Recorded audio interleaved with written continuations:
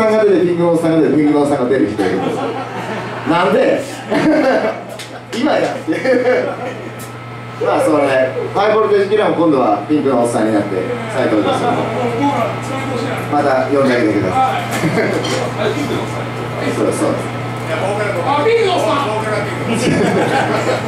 まあでもなんか本当に僕ここに出るのは初めてなんですけど来るのが78年ぶりぐらいで。あの何ていうんですかね本当ステージに立ってみてめちゃめちゃいい箱だなって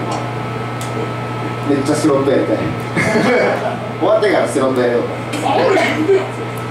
まあね内側のこんな感じでこう激しいバンド来ましたけどこの後もゆったりしますんで皆さんあのゆったり楽しんでもらえばいいかなと思います。よろしく。お願いします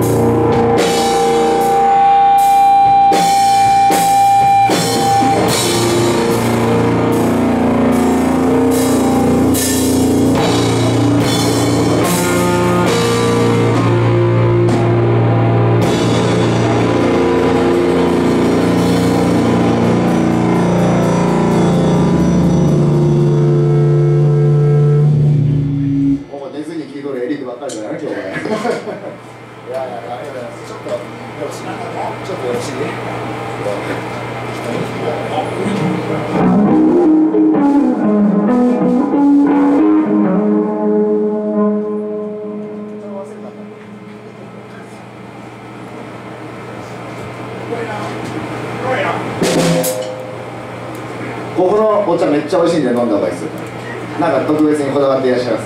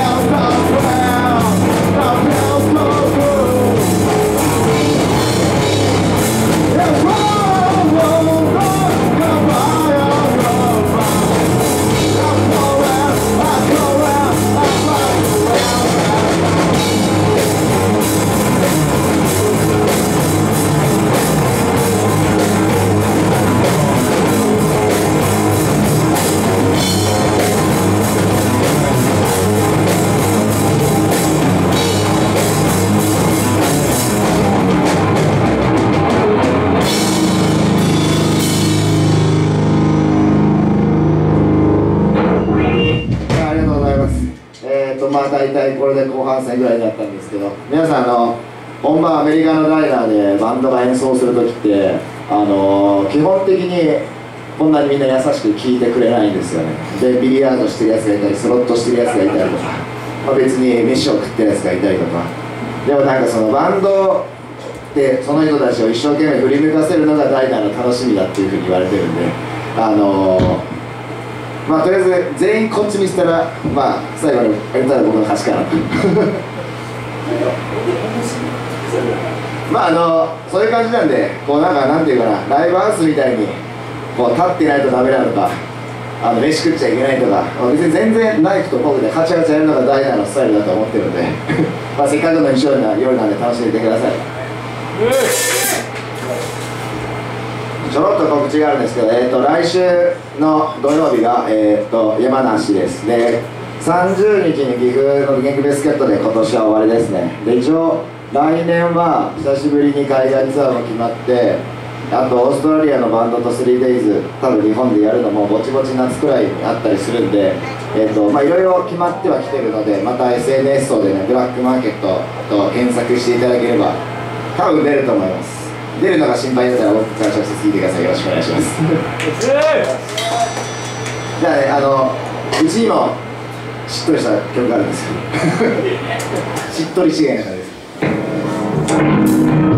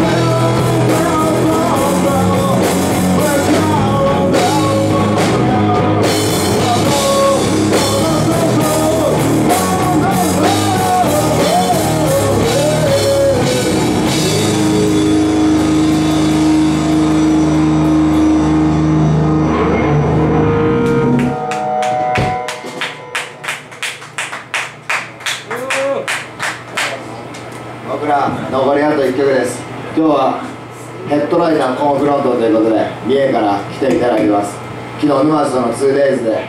バッテリー仕上がってますんで皆さん最後まで遊んでやってください。うちも物販で新しいものがいろいろ売ってるんで買っていっていただけるとあの明日もご飯が食べられます。よろしくお願いします。そうね。そんなに困ってない。困ってる服を装うのが我々の大事だぜひ2枚でも3枚でも買っていただければ外行き用と家用と実家用ぐらいの。感じまあ、あのよかったらそこにありますんで見ていってください。どうもありがとうございました。あのまあ今日ねファンキーライブダイナーだったと,、えーということであダイナーということであのロックンロールの場所なんで僕らの一番ロックンロールのナンバーで終わると思います。どうもありがとうございました。